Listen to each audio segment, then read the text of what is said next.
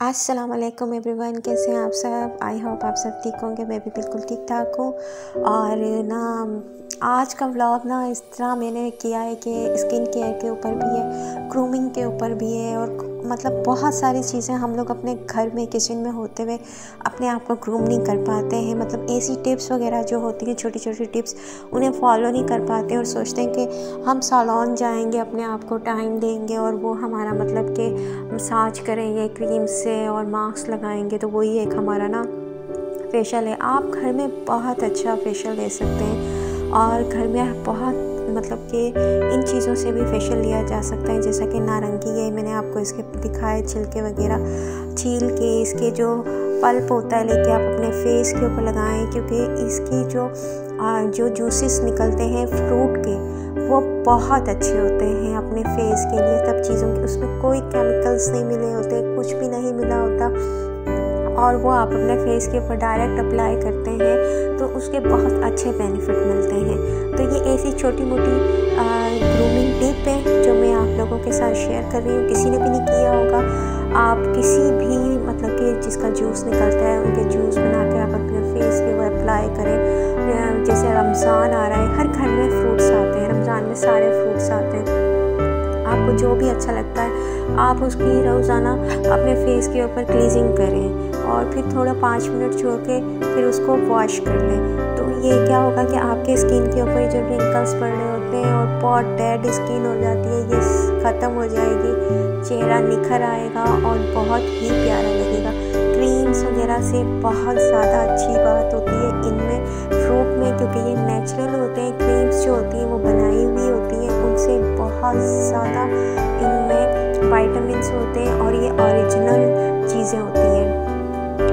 Organic चीज़ें होती हैं। तो ये आप अपने फेस के ऊपर अप्लाई करें तो इससे बहुत ज़्यादा मेरी जो स्किन है ना आ, इसके बाद मतलब कि लाइटिंग करने लग गई थी और चमक गई थी। बहुत मतलब कि स्किन जो थी ना सॉफ्ट हो चुकी थी। एकदम से जो विटामिन सी जो है फेस के ऊपर लगा और उसके ऊपर से ये जो सारी डेड स्किन और जितनी भी मतलब सूरज की शुआओं की वजह से जो आ जाती है वो सब ख़त्म हो चुकी थी फेस के ऊपर से। एकदम चेहरा जो होता है ना, वो निखर आता है और फेस का जो कलर होता है ना, वो साफ़ हो जाता है। यहाँ मैंने जो इसका बनाया था मास्क क्लीजिंग के बाद वो वो था। आप सबको पता है कि नारंगी के जो छिलके होते हैं, आप उसको पीस सकते हैं। और अच्छे से इसको पीस के और आप इसको धूप में रख दें, वो ड्राई हो जाएँगे। तो वो आप किसी भी जार में बंद करके लगा सकते हैं, जैसे मैंने किया। मैंने ठंडे पानी में इसको हल किया है, एक चम्मच लेके, एक चम्मच पानी लेके और इसे अपने फेस के ऊपर लगा लिया। है इसके बीच में आप हल्दी भी ऐड कर सकते हैं। अदरवाइज़ आप इसको ऐसे भी यूज़ कर सकते हैं। इसके बीच में आप बेसन भी यूज़ कर सकते हैं। मैंने बेसन यूज़ किया, हल्दी यूज़ की है और इसका छिलके का जो सफ़ूफ बनाया था मतलब पाउडर बनाया था, वो लेके मैंने इसको यकजा किया एक एक चम्मच, आधी चम्मच मैंने इसमें मतलब हल्दी ली थी और मिक्स करके, पानी के साथ मिक्स करके आप अरके गुलाब के साथ भी मिक्स कर सकते हैं। मैंने सिंपल तरीके से मिक्स किया और अपने फेस के ऊपर अप्लाई कर लिया। फुल फेस के ऊपर मैंने अप्लाई कर लिया। जब मैं ये सूख जाएगा, ड्राई हो जाएगा तो इसके ऊपर मैं स्प्रे करूँगी सईद गनी का मेरे पास। स्प्रे आप नॉर्मल स्प्रे भी कर सकते हैं, अरके गुलाब का भी स्प्रे कर सकते हैं घर में। और ये देखें आप, हाथ के ऊपर लगाएँ, जो डेड स्किन होती है, जो सूरज की शुआओं से बहुत ज़्यादा डैमेज हो चुकी होती है, ये वाइटामिन सी का ख़जाना है। आप अपने हाथ के ऊपर लगाएँ और इसके बाद देखें कि इसके ऊपर से जो लाइन्स आई हुई होती हैं हाथ में, कितनी सारी मतलब कि आपके पीछे वाली स्किन हार्ड होती है, उसके ऊपर लाइन लाइन सी आई होती है, वो बिल्कुल रिमूव हो जाएँगी। ऐसा लगेगा कि पता नहीं आपने क्या पैक लगा लिया है और इतना अच्छा मतलब इसका रिज़ल्ट निकल आएगा। तो ये मैंने कर लिया अपने फेस के ऊपर। ये आप कर सकते हैं डेली बेसिस पे भी कर सकते हैं और हफ़्ते में दो बार कर सकते हैं आराम से।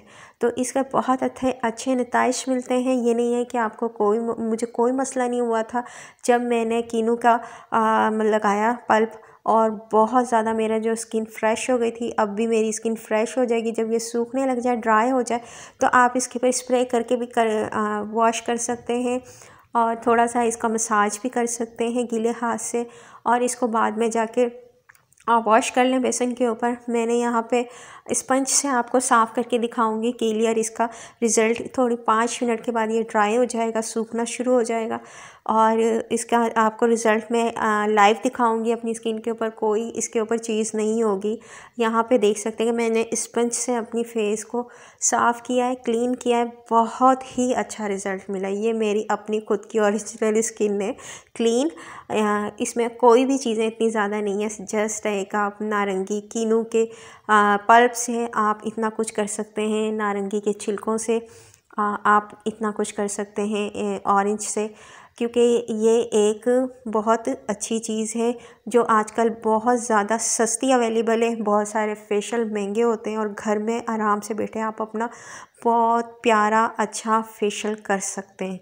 तो आप लोगों को मेरी वीडियो अच्छी लगे तो प्लीज़ इसे लाइक, कमेंट, शेयर कीजिएगा, अपनी दुआओं में याद रखिएगा। पूरा फेस मैं आपको रिमूव करके दिखाऊँगी। शुरू में मैंने बिल्कुल भी नहीं कहा कि आप मेरा चैनल सब्सक्राइब करें, सब कुछ करें, लेकिन मैं ऐसी बहुत अच्छी अच्छी वीडियो इन्फॉर्मेशन आपके लिए ले, लेती आऊँगी क्योंकि कभी किसी ने ये नहीं बताया होगा कि आप फ्रूट से अपने फेस के ऊपर मसाज करें क्लीजिंग करें, आप उसको वाइटमिनस दें अपनी स्किन को, किसी ने भी नहीं बताया होगा आपको। तो ना ये काफ़ी सारे लोग करते हैं। काफ़ी सारे लोग ऐसा, ऐसे भी करते हैं, मैं अपनी ज़िंदगी में जब मैं यंग एज में थी तो मैं मतलब कि नाइन मैट, मैट्रिक में पढ़ती थी। तो तब मैं यहाँ पे क्या कहते हैं, फ्रूट्स वगैरह होते थे तो उनको किसी मतलब एक दो फ्रूट्स को मिक्स करके और उनका जूस बना के अपने फेस के ऊपर अप्लाई करती थी, उसका मसाज करती थी, उसकी क्लीजिंग करती थी और फिर उसको वॉश कर लेती थी। तो मेरी स्किन बहुत ज़्यादा ग्लो करती थी और एकदम से क्लीन हो जाती थी और उसके ऊपर से डेड स्किन सब चीज़ें रिमूव हो चुकी होती थी। ऐसा लगता था पता नहीं मैंने कितने सारे मसाज लिए हैं, कितनी सारी क्रीम्स लगाई हैं और उसके बाद मेरी वो स्किन निकलती थी। तो ये देख सकते हैं आप, ये बिल्कुल क्लीन हो गया। इसके बाद आप अपने फेस के ऊपर सन ब्लॉक लगाएँ, कोई भी क्रीम लगाएँ और कोई भी विटामिन सी का सीरम लगाएँ। वैसे ही आपने इतना सारा विटामिन सी का ख़जाना लिया होता है फेस के ऊपर, वैसे तो ज़रूरत नहीं है। मतलब जो भी आपकी रूटीन है, आप वो कर सकते हैं। और बहुत अच्छी स्किन हो जाती है। मैंने हाथ की भी आपको करके दिखाई है। देखें कैसे ग्लो कर रही है, लाइटें मार रही है स्किन तो आप लोगों को वीडियो अच्छा लगे तो प्लीज़ लाइक कमेंट शेयर कीजिएगा। और अपनी दुआओं में याद रखिएगा। अल्लाह हाफिज़। अल्लाह निकेबान।